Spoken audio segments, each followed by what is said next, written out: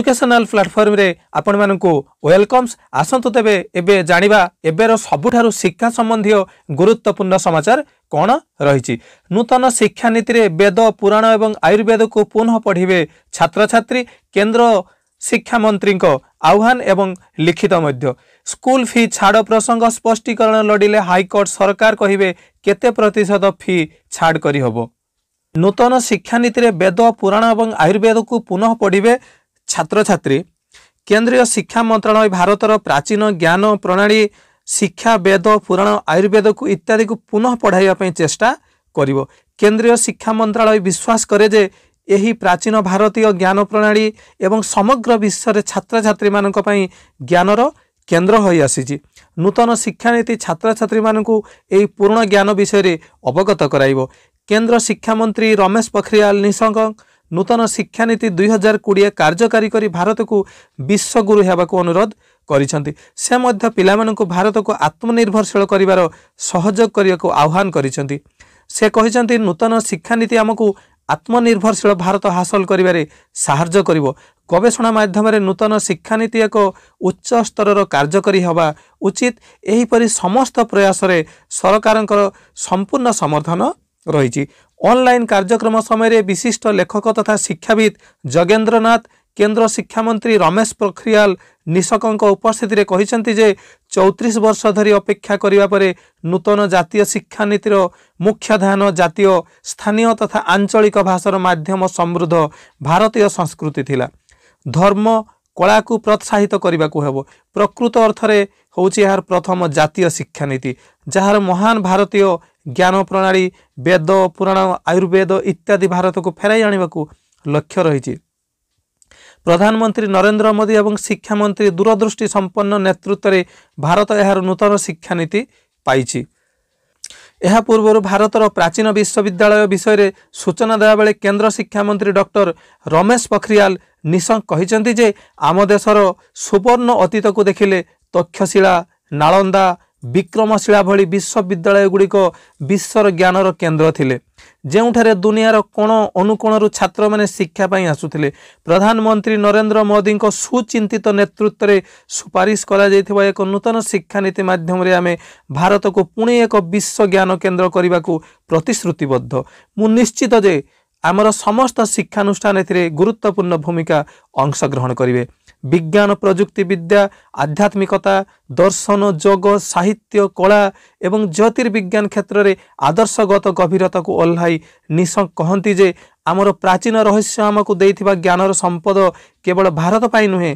ବରଂ ସମଗ୍ର ବିଶ୍ୱ ପାଇଁ ଏହା ଉତ୍ତରଦାୟୀ ପରି ମୁଁ ଖୁସି ଯେ ଏହି ଉତ୍ତରାଧିକାରୀ ଏହି ଧନକୁ ସମ୍ମାନ ଦେବା ଏବଂ ଏହାକୁ ଆଗକୁ ବଢ଼ାଇବା ପାଇଁ ଏକ ମହତ୍ ପ୍ରୟାସ କରାଯାଇଛି ସେ କହିଛନ୍ତି ଯେ ନୂତନ ଶିକ୍ଷାନୀତି ଶିକ୍ଷା ବ୍ୟବସ୍ଥାରେ ପରିବର୍ତ୍ତନ ଆଣିବ ଏବଂ ଭାରତକୁ ଅଧିକ ଉଚ୍ଚତାରେ ପହଞ୍ଚାଇବା ସାହାଯ୍ୟ କରିବ ଏବଂ ସାରା ବିଶ୍ୱରେ ଭାରତକୁ ଏକ ସ୍ୱତନ୍ତ୍ର ସ୍ଥାନ ବା ସ୍ୱତନ୍ତ୍ର ମାନ୍ୟତା ଏବଂ ଶୀର୍ଷ ସ୍ଥାନରେ ପହଞ୍ଚିବାର ଏହା ହିଁ ହେଉଛି ଏକ ସରଳ ମାଧ୍ୟମ ସ୍କୁଲ ଫି ଛାଡ଼ ପ୍ରସଙ୍ଗ ସ୍ପଷ୍ଟୀକରଣ ଲୋଡ଼ିଲେ ହାଇକୋର୍ଟ ସରକାର କହିବେ କେତେ ପ୍ରତିଶତ ଫି ଛାଡ଼ କରି ହେବ ସ୍କୁଲ ଫି ଛାଡ଼ ପ୍ରସଙ୍ଗରେ ହାଇକୋର୍ଟ ରାଜ୍ୟ ସରକାରଙ୍କଠାରୁ ସ୍ପଷ୍ଟୀକରଣ ଲୋଡ଼ିଛନ୍ତି କେତେ ପ୍ରତିଶତ ଫି ଛାଡ଼ କରିହେବ ସେ ନେଇ ସରକାର ପରବର୍ତ୍ତୀ ଶୁଣାଣି ସମୟରେ ଅବଗତ କରିବେ ଆଜି ଏ ସମ୍ପର୍କରେ ମାମଲାରେ ଶୁଣାଣି କରି ମୁଖ୍ୟ ବିଚାରପତି ଜଷ୍ଟିସ୍ ମହମ୍ମଦ ରଫିକ୍ ଓ ଜଷ୍ଟିସ୍ ବିଶ୍ୱନାଥ ରଥଙ୍କୁ ନେଇ ଖଣ୍ଡପୀଠ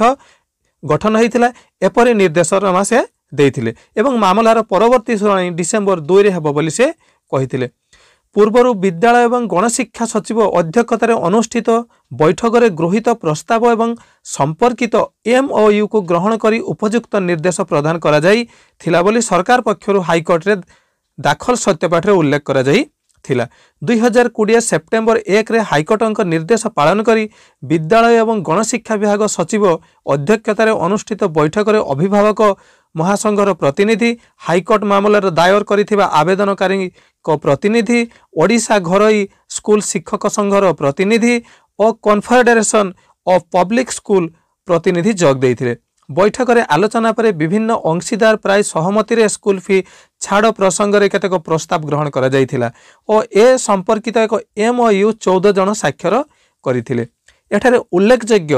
হাইকোর্ট নির্দেশনার বিদ্যালয় এবং গণশিক্ষা সচিব অধ্যক্ষতার অনুষ্ঠিত বৈঠকরে আলোচনাকু নেই স্কুল ফি ছাড় সম্পর্কিত রিপোর্ট সেপ্টেম্বর অণতিশে হাইকোর্টে দাখল করে ବୈଠକରେ ଗ୍ରହଣ କରାଯାଇଥିବା ପ୍ରସ୍ତାବ ଅନୁସାରେ ସ୍କୁଲ ଫି କିଛି ଅଂଶ ଛାଡ଼ କରାଯିବା ପାଇଁ ସୁପାରିଶ କରାଯାଇଥିଲା ରିପୋର୍ଟରେ ସାତଟି ସ୍ଲାବରେ ସ୍କୁଲ ଫି ଛାଡ଼ ପାଇଁ ପ୍ରସ୍ତାବ ରହିଥିଲା ଯଦି ବାର୍ଷିକ ସେ ସ୍ଲାବ୍ ଗୁଡ଼ିକ ମୁଁ କହୁଛି ଯଦି ବାର୍ଷିକ ଟ୍ୟୁସନ୍ ଫି ଛଅ ହଜାର ଟଙ୍କା ପର୍ଯ୍ୟନ୍ତ ସ୍କୁଲ ନେଉଥିବେ ତେବେ ଏଥିରେ କିଛି ଛାଡ଼ କରାଯାଇପାରିବ ନାହିଁ ଯଦି ଛଅ ହଜାର ଏକରୁ ବାର ହଜାର ଟଙ୍କା ପର୍ଯ୍ୟନ୍ତ ଟ୍ୟୁସନ୍ ଫି ଉପରେ ସାତ ଦଶମିକ ପାଞ୍ଚ ପ୍ରତିଶତ ବାର ହଜାର ଏକରୁ চব্বিশ হাজার পর্যন্ত বারো প্রতিশত চব্বিশ হাজার একরু অড়চাশ হাজার পর্যন্ত পনেরো প্রতিশত অড়চাশ হাজার একরু বাস্তরি হাজার পর্যন্ত কোড়িয়ে প্রতিশত বাস্তরি হাজার এক লক্ষ পর্যন্ত পঁচিশ প্রতিশত এরপরে ছবিশ প্রতিশত টিউশন ফি ছাড় পাই প্রস্তাব গ্রহণ করা যাই ଥିଲା ଏଥିସହିତ ପରିବହନ ଖାଦ୍ୟ ବାବଦ ଖର୍ଚ୍ଚ ମନ ଇଚ୍ଛା ସ୍କୁଲ ପକ୍ଷରୁ ଆଦାୟ କରାଯାଇ ନ ପ୍ରକୃତ ସ୍ଥିତିକୁ ଦେଖି ନିଆଯିବ ବୋଲି ମତବ୍ୟକ୍ତ କରିଥିଲେ ବା ନିର୍ଦ୍ଦେଶନାମା ଜାରି করে হোস্টেল ফি তিরিশ প্রত ছাড় করা এবং activity fee laundry fee educational যে এক্সাম ফি ইউনিফর্ম ফি এবং কনভ্যাসিং ফি এজুকেশন ফি রিআডমিশন ফি ডেভেলপমেন্ট ফি এবং আনুয়াল ফি মহামারী সময়ের স্কুল খোলিয়া পর্যন্ত নিয়াযিব না বলে প্রস্তাব গ্রহণ করা যাই এই বৈঠকের গ্রহণ করা যাই নিষ্পতি পনেরো জন সদস্য মধ্যে চৌদ জন সম্মতি প্রকাশ করে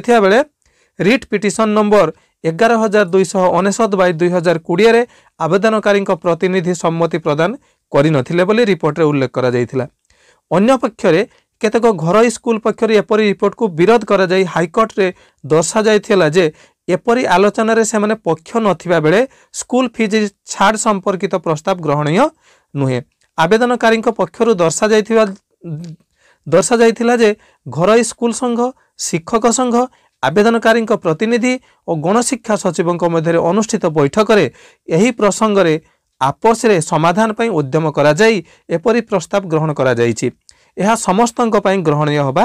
ଉଚିତ ମାମଲାର ବିବରଣୀ ପ୍ରକାଶ ଯେ ସ୍କୁଲ ଫି ଛାଡ଼ ପ୍ରସଙ୍ଗକୁ ନେଇ ହାଇକୋର୍ଟରେ ତିନୋଟି ମାମଲା ରୁଜୁ ହୋଇଥିବା ବେଳେ ମାମଲାର ପକ୍ଷଭୁକ୍ତ କରିବା ପାଇଁ ଘରୋଇ school confederation of Odisha public school school ଶିକ୍ଷକ ସଂଘ ପିଟିସନ ଅନ୍ୟ କେତେକ ଘରୋଇ ସ୍କୁଲ ପିଟିସନ ଦାଖଲ କରିଥିଲେ ଆଇନଜୀବୀ ମହମ୍ମଦ ମୁସ୍ତାକ ଅନସରୀ ଏବଂ ଭୁବନେଶ୍ୱରର ପ୍ରହଲ୍ଲାଦ ରାଉତ ଓଡ଼ିଶା ଶିକ୍ଷକ ଅଭିଭାବକ ମହାସଂଘ